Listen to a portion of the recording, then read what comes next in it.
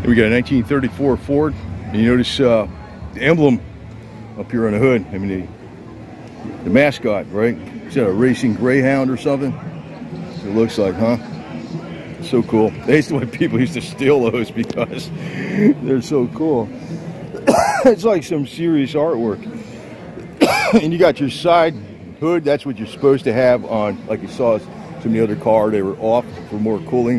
They had the louvers on the top.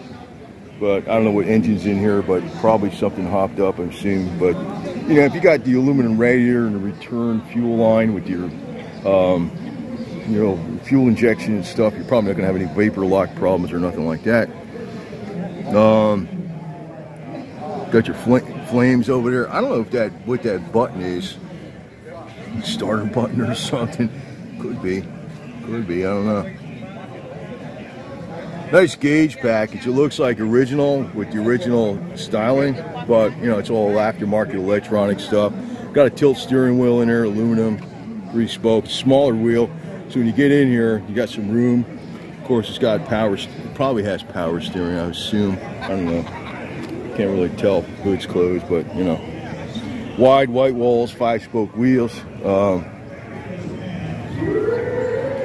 nicely done, nicely done, you know car kicks some butt, you know what I mean? V8 on the back here. 1934. Yeah, um, it's really hard. Imagine you going driving this car in the wintertime in the snow, trying to see behind you. you know, you got your mirrors on the sides though, at least.